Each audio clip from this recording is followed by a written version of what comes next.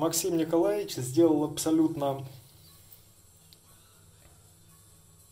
абсолютно логичный и в некоторых случаях даже очень долго ожидаемый результат трудов и подготовил к продаже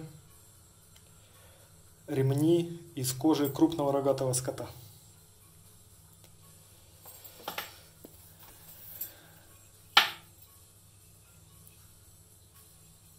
Очень. Сейчас, сейчас я туда подберу карабинчик, чтобы не звенел.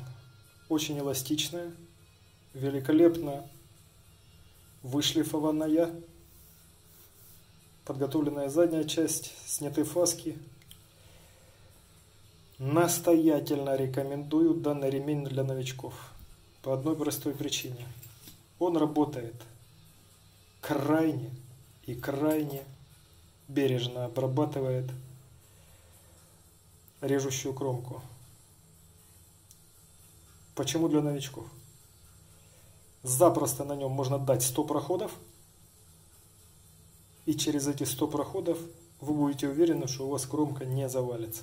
Такое часто и густо бывает, особенно у новичков.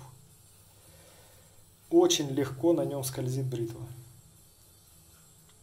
Никаких нет затруднений при движении она не настолько сильно подлипает и не настолько требует усилия для того, чтобы ее протянуть. А чрезмерное усилие, оно, естественно, приводит к большему нажиму, естественно, больший нажим приводит к тому, что быстрее кромка заваливается. Поэтому вот этот целый ряд, скажем так, нюансов мы этого ряда избегаем, в голом остатке у нас получается отличный рабочий ремень. Сто процентов он бюджетнее, чем изделие из лошадки. И как минимум на начальном этапе, это как минимум. Отличный будет вариант для правки клинковых бритв. Возможно, даже на нем можно будет остановиться, а лошадки не помышляя, использовать его как единственный и основной.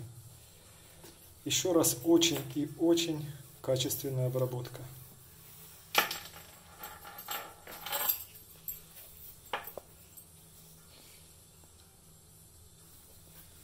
Просто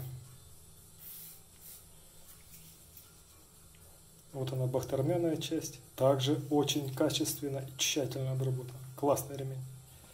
Вопросов нет. Бритву точил после камня положил на этот ремень, 70 проходов сделал, все отлично.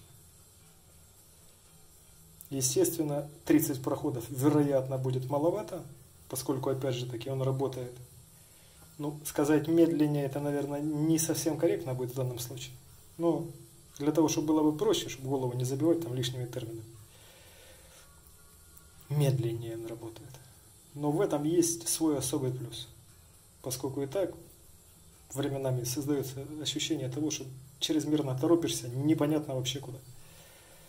Поэтому крайне рекомендую задуматься.